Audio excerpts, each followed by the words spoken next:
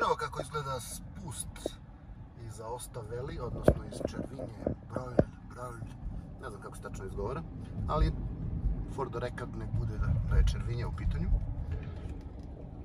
E, sad ću da vam pokažem jednu interesantnu stvar i jedan, da vam dam jedan vrlo, vrlo koristan savjet.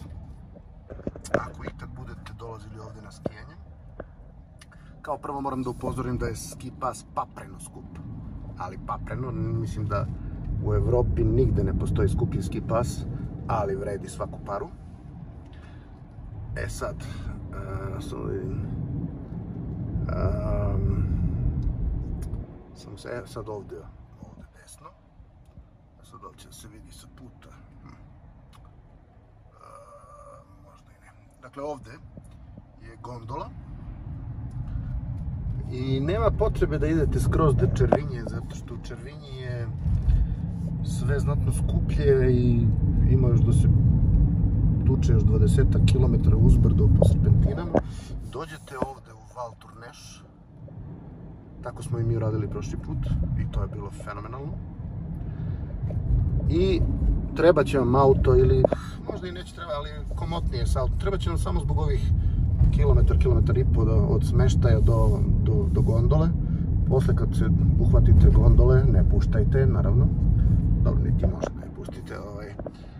A, I to je to. Znači, ovde u Valtunešu je smeštaj jako pristupačan i sve cene su inače jako pristupačne.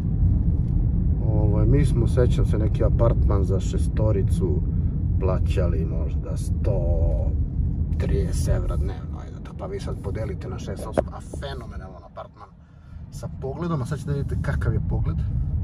Mislim, vidjet ćemo deo pogleda, proći ćemo pored te, te kuće, čuvena Francesca, ovaj, i njen nešto manje čuveni muž.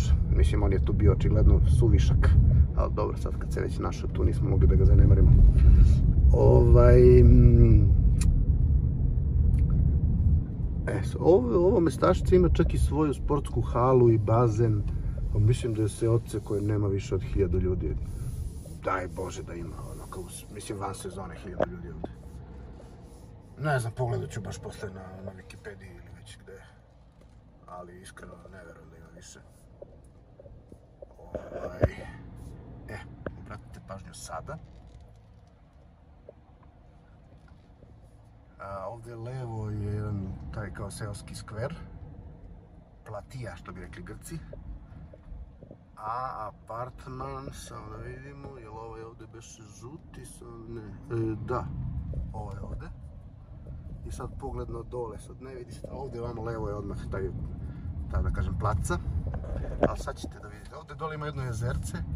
Iz tog apartmana se fenomenalno vidi to jezerce.